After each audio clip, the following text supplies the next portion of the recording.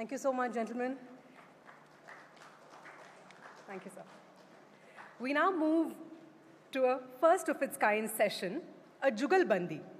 It's a Jugalbandi on the topic Tech Trails in Insurance, Navigating Growth and Disruption Landscapes. For this session, we would like to invite Mr. Abhay Tewari and Mr. Dahnesh Dilkhush on stage. And can we please have the podium with the mic? Mr. Abhay Tewari is a fellow member of the, of, of the IAI and the IFOA UK. He took over as managing director and CEO of Star Union Dai-ichi Life Insurance in 2021, before which he was the joint president, corporate and chief actuary. Mr. Tewari has more than 25 years of experience in financial services with dominant part being spent in the life insurance industry. Welcome, sir. Mr. Dahnesh Dilkhush leads the customer success team at Microsoft India and South Asia. He has over 25 years of IT experience, Cisco Systems and Wipro Infotech. He is passionate about blending technology solutions with business use cases and has been a part of some of the largest flagship cloud adaptations across various enterprises. The floor is yours.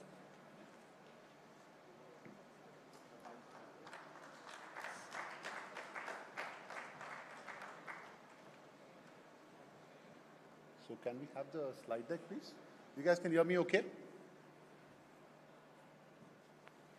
All right, waiting for the slide, but you know, good call out. Uh, I actually, Mr. Abhay, do you want to kind of kick it off and then? I, I, maybe I just uh, give a mic. brief. Uh,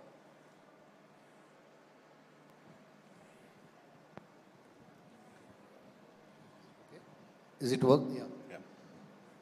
Yeah, thank you f- uh, for this session. I think it is very differently thought through. I mean, I think we have been thinking about, you know, and we discuss a lot about data and analytics, but the technology which powers the capability of doing that analytics and, you know, power of, you know, the data is getting captured every time. So one is the capturing of the data and then making sense out of that data.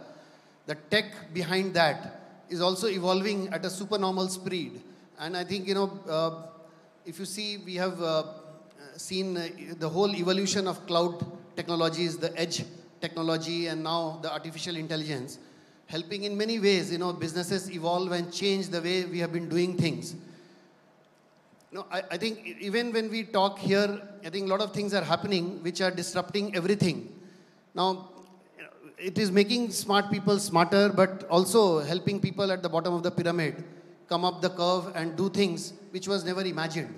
Now, I think what this particular session is about, you know, having interaction between how tech and businesses can integrate and help uh, each other because see, tech on its own or in isolation is not meaningful. Similarly, business without tech cannot survive. So we thought that let us have a discussion uh, and what better way to get a person like uh, Dahnesh who has been spearheading customer success unit at Microsoft a, as an executive director there. He's been heading the India and the Asia Pacific unit. So, you know, uh, he has been working on helping people adopt the cloud technologies. But of late, I mean, he has helped many leaders, business and technology leaders who- to make this digital transformation. But, uh, you know, of late, he has been focusing a lot on making use cases of generative AI and co-pilot technologies. So I'll, you know, uh, give it to Dahnesh to give us a brief introduction as to how Uh, the technology has evolved over the last, say, 15, 20 years and how insurance stands to gain out of it. Thank you. Absolutely. Thanks so much, Mr. Abhay. And really, first of all, a big thank you to the Institute of Actuaries to invite me and to kind of hear out our next 10 minutes of 10 to 15 minutes of session that we have. And when we actually preparing for this, we were thinking, hey, there are two ways of actually sharing our thoughts, right? One, have a conversation. The other is to co-present. And as rightly Mr. Abhay said, it's, it's the jugalbandi of business and tech to come together. You know, if you go back several decades, having access to railways or electricity would have been a competitive edge for businesses. Today, it's the must-do. It's, it's basics. It's first principles. Technology also is first principles, right? And I think if you look back to how technology has evolved, there have been several platform shifts over the past several decades. We started in some form or shape with PCs and server, which is the client-server computing era. Then we moved uh, predominantly to web and internet. Then we have cloud uh, and obviously mobile, which is what we spoke about, analytics at scale. And I think we are coming to a very different kind of platform shift, which is AI. And I think there was an interesting question in the audience in the previous session. Hey, how do you really look at AI? I think to a large extent, for several, several years, we as humans have tried to figure out how to work with computers. I think this is an era where computers are going to speak to us, where technology is going to figure out how using natural language models, how can they talk and interact like humans? And that's exactly where, I think in the previous conversation also, technology, not for the sake of it, but to bring outcome to business is what really the focus is. I'll try and use this. Yeah. The first thing we thought about is why don't we speak about the imperatives? I'm sure everybody out here knows what the industry challenge and the opportunity is, what customers are asking for. And again, I would like Mr. Abhay to also jump in for each of these points. But the first thing that we thought about is customer engagement irrespective of which channel the customer would like to go to interact with a company or a distributor, it has to be consistent. You can't go to an online channel and have a conversation, and then when you go offline trying to speak with humans, there is a break in that communication or the information, which means the experience has to be 360. And if that experience has to be 360, also the workforce in the back has to transform so that they know how to interact with these channels and the data available out there. The next most important imperative is competitive pressures, right? Because obviously use of technology and use of various methods of reaching out to customers and service them, these will evolve and have evolved a lot. But if you look at how do you bend that curve of innovation, innovation as an imperative, it's critical for businesses to say, how can I go ahead and accelerate that particular go-to market using technology and the right use case? We heard about in the, in, in the morning as well in a session. I want something to sell to customers what they need and not what I want to sell. And that's important imperative for us to focus on. But last but not the least, security, compliance has to be at the core of the machinery of execution. We can't neglect that last important point because risk is one that everybody is exposed to and you have to figure out how to mitigate that. I'll pause here. Mr. Abhay, your thoughts? Yeah, I think uh, uh, very well put, Dahnesh. Uh, see, the, the whole uh, uh, technology stack, if you see in India, I mean, we are one of the, we have the best financial technology stack.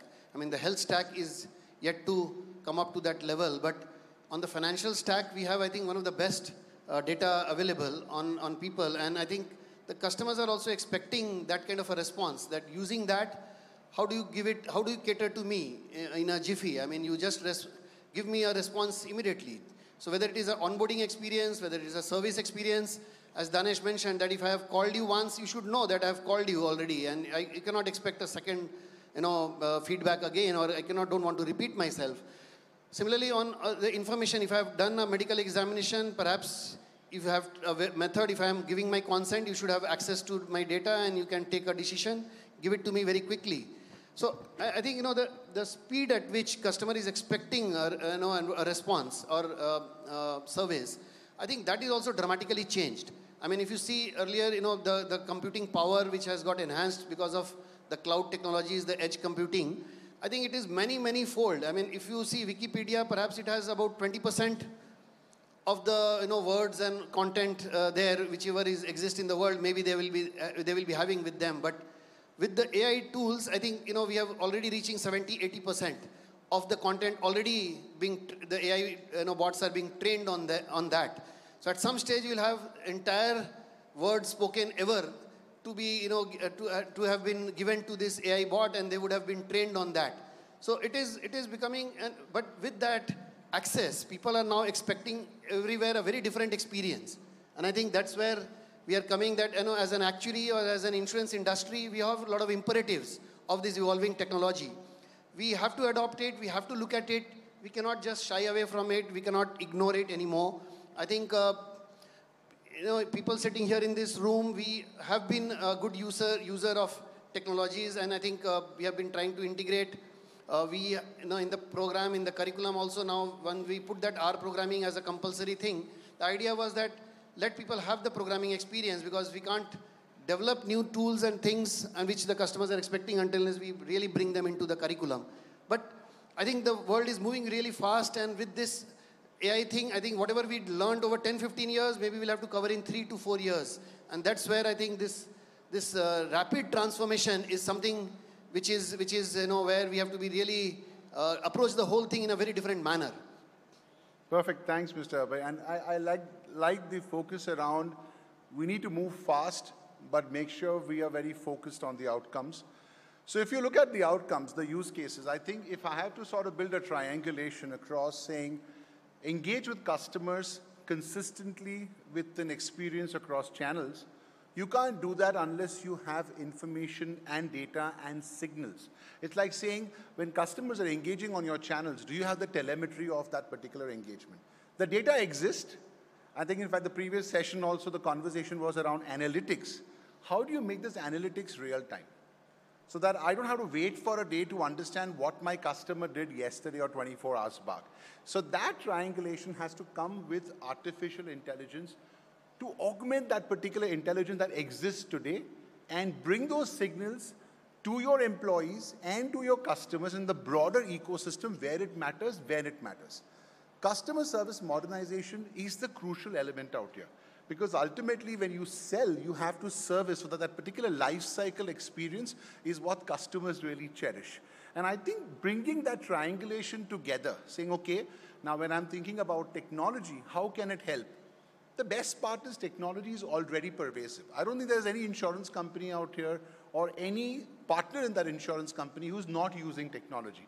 And hence you already have that data. You already have those signals. You have to figure out a way to surface that to the personas that really matter. And I think that's the triangulation that we are talking about. Again, Mr. Abhay, any quick thoughts on that? No, I think uh, uh, I think he has very very well put it that it is an augmented intelligence. I mean, it's not about artificial intelligence, uh, when we say, then we you know, try to look at it from a distance, but it is augmenting our work, augmenting our understanding or our usage of data and the, you know, the tools which we already have. So I think that's where this technology can become a real game changer. And we have to come out of that fear. I think Yuval Noah Harari, I think I, in one of my favorite, uh, he, a philosopher who really, you know, talks a little on, uh, uh, on the uh, the effects, uh, the ill effects which perhaps uh, AI can have if it is not well regulated. I agree you know, on that part that the regulation definitely needs to be very strong in this area, but you know, we have still, you know, we are far away from that particular stage and whether, you know, whether, you know, he talks about consciousness and all that which can, uh, you know, come with AI. But I feel we are really far away from there and we have to first harness the power the ill effects can be, the, the unexpected or unwanted effects can be mitigated, is what I feel. I mean, I'm not a very big uh, expert on a technology, but I feel that the unwanted things can still be contained, provided we first harness it properly and harness it well. So, you know, uh, I think we are, we are you know, uh, in that uh, dilemma of whether to take it or not take it, we'll, we'll miss the whole thing and perhaps, uh, you know, things may go wrong even in that situation. I mean, when we miss it or we don't use it properly, things can even go wrong in a much bigger way, actually. So what I'm saying is that understanding it properly and thoroughly, and by sitting, you know, very elite crowd here, people like us here need to really adopt it, understand it, uh, really well, actually. I mean, it's not only just understanding from, from a distance, but using it, mastering it, actually is required. And then, then only we can talk about the ill effects or the side effects of that. Fantastic. So it's responsible AI is what we're really looking at, right? So that's with that cue, in fact, when you're looking at the evolution, so again, when I Mr. Abhay were speaking about it yesterday, okay, so let's think about multiple horizons, right? When we're looking at the transformation of technology in the insurance industry, I think the first phase, which most of us are already in, is harness the power of the scale that cloud can provide whether it's about the core insurance, whether it's your mission critical applications that service your channels, how do you take that particular power and make sure you're able to kind of churn that data at a much faster rate? The next thing is to embrace the digital transformation. Again, with most of us already are on that particular path. But what that means is that if somebody wants to interact with your online presence, are you limited to a computer screen or is it mobile or is it just text messages or social media that particular proliferation of interaction has to be consistent across the board. And the digitization around it is about starting with digitizing the processes. And again, we spoke, uh, heard about that in the previous session. How do you really figure out health records that are available? So instead of just speaking to that particular customer, can you first get understanding and then go have a background and talk to that particular customer? But the most important phase that's coming in is this multi-dimensional, multi-domain access. And again, one of the use cases in AI is when you're looking at chatbots, for example, are chatbots able to interact with your customers across multiple dimensions? Which means if you're interacting with a chatbot of an insurance online presence, is this just talking about insurance or is it even able to converse around health?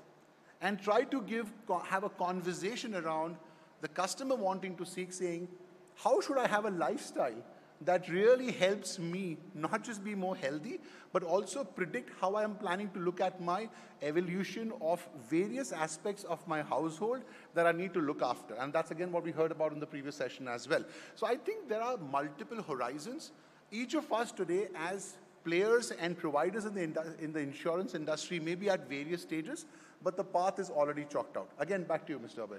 Yeah, I think, uh, see, uh, I mean, when I, I, was also trying to understand the difference, which, you know, which, uh, say, when I, we just used to talk about AI many years back as well, but the generative AI, then what is it different now? I mean, and I keep on thinking that, yeah, earlier, if you see, for example, if you uh, ask the AI bot to say, read your mails, maybe it will read it out to you, it will say, you have received a mail from this person or that person. But now it can respond. You know, it can create a very good response for that email. It, it can filter out which are the important emails which you should concentrate. Now, these, these are, you know, very important developments because, and earlier it was not possible perhaps because of the lack of that computing power. But now that we have that technologies which can really compute, uh, you know, maybe many, you know, uh, billions or you know, trillions of now, you know, data points or parameters are being built in that neural networks. So if that is possible now, and that's why we are getting these outcomes, then why not use it? And why not use it to uplift and make the lives better for everybody around? Absolutely, absolutely. So moving on, I think you spoke about, you know, uplifting the bottom of the pyramid. So is it about just getting the smart to get smarter, is or about uplifting the entire, I would say, population scale that we have today? And I would like to, in fact, showcase a specific uh, case study out here. Let's see if this plays well. Let's try it. Yeah. I'm not sure the audio is on. And Marathi is actually a language that is spoken by millions and millions of people. But unfortunately, many Indian languages are under-resourced. We cannot let language be the thing that does not allow you to use technology.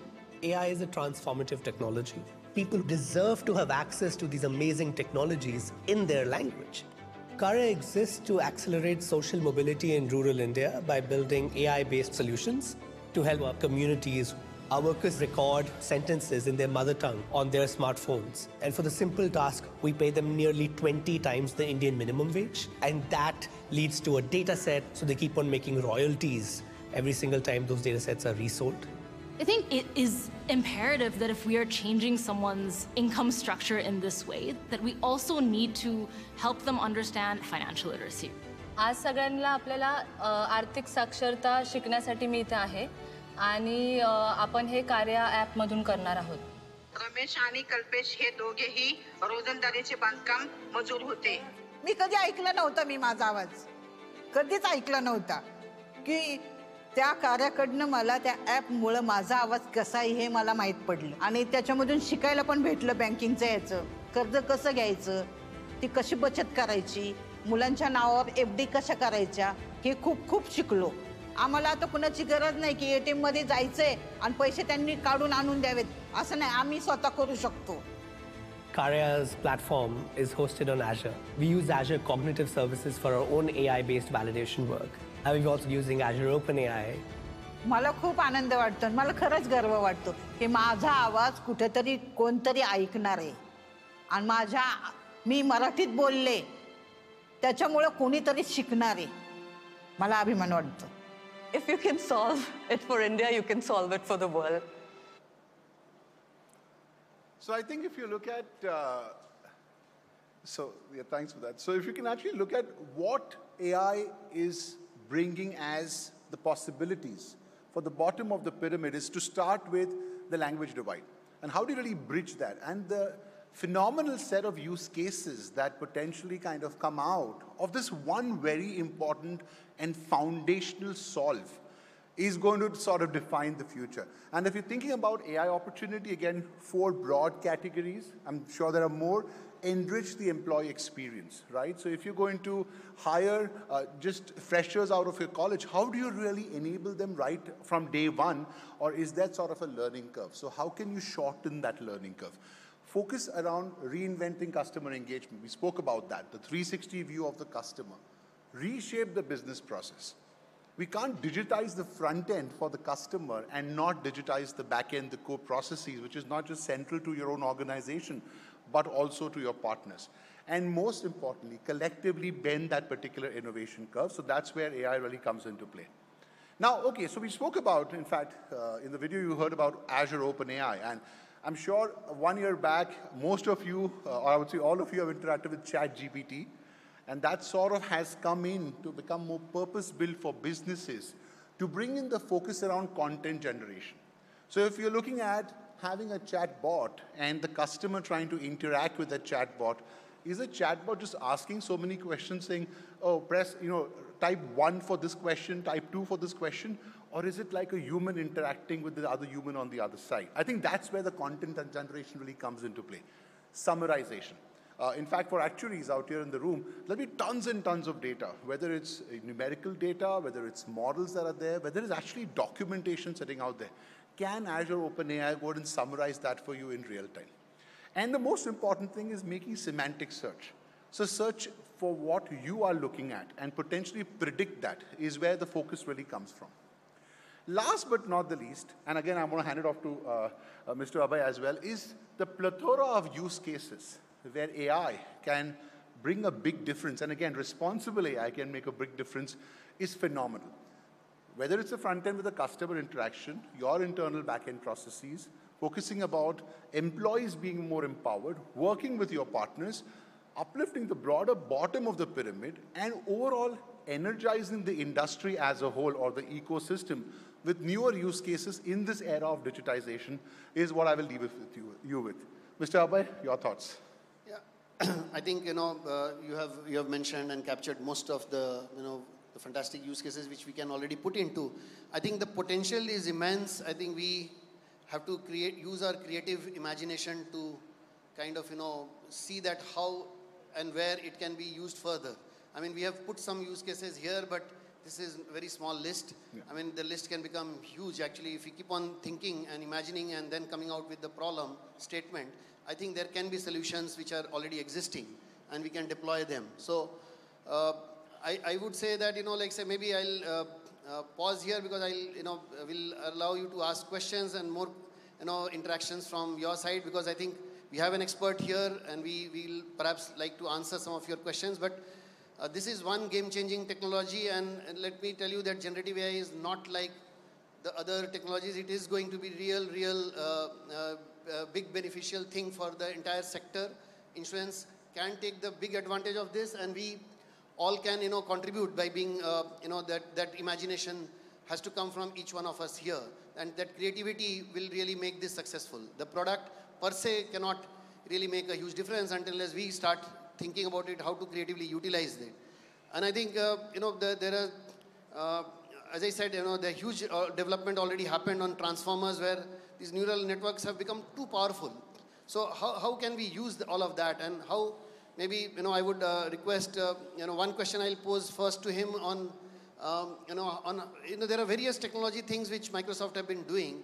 I mean, you uh, see the MS Office products, I think actuaries are one of the best users of Excel in the whole world, I think, you know, so, so the MS Office and then now, you know, uh, the, the cloud computing, the edge computing, the Azure services, now the Copilot technologies on the AI side. So how does he integrate all of these and how is he planning to integrate the new generative AI with the existing technologies and tools which are already available in the bucket of Microsoft? I think one is that and then maybe how does it enhance our productivity? In, in I mean, not necessarily per se for insurance because if we learn about how it is helping enhance productivity in any sector, perhaps we'll be able to use our imagination to bring that into this sector as well. So I, I No, great question, Mr. Abhay. And, and I've been a personal fan of Excel, frankly. I'm sure most of you are today.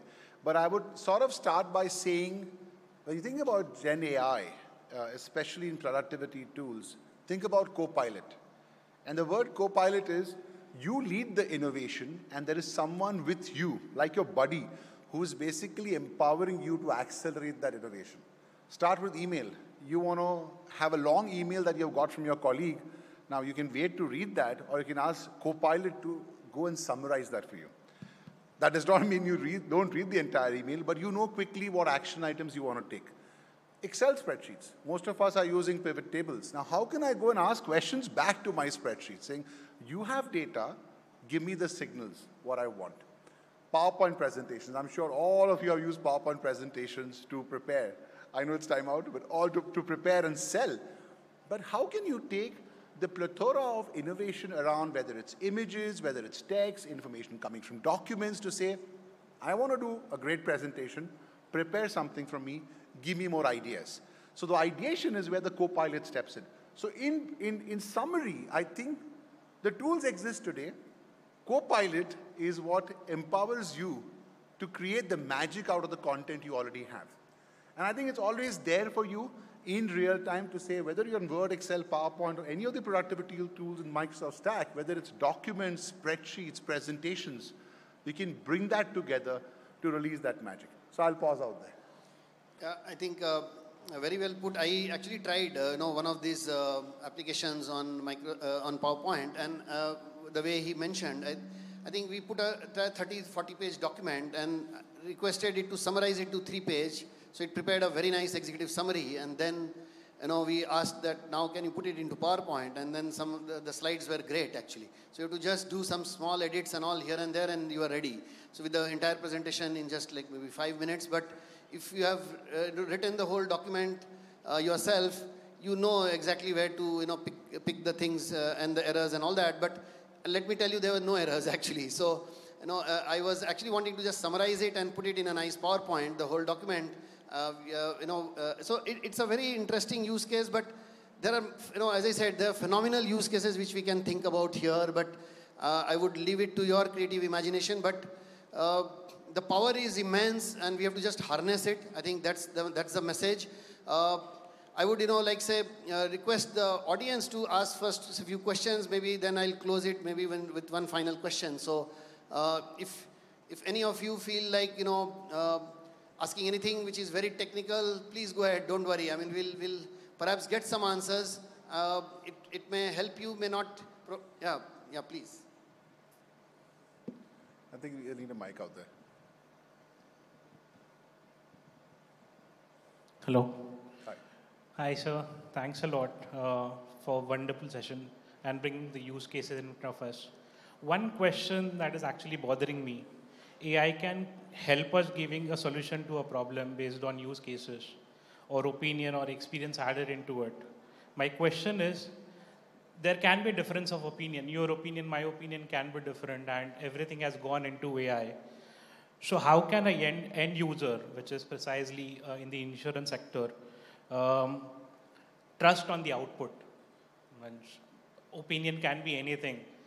Whether the output is the best suit to me, uh, how it can help in the insurance industry. What is your opinion?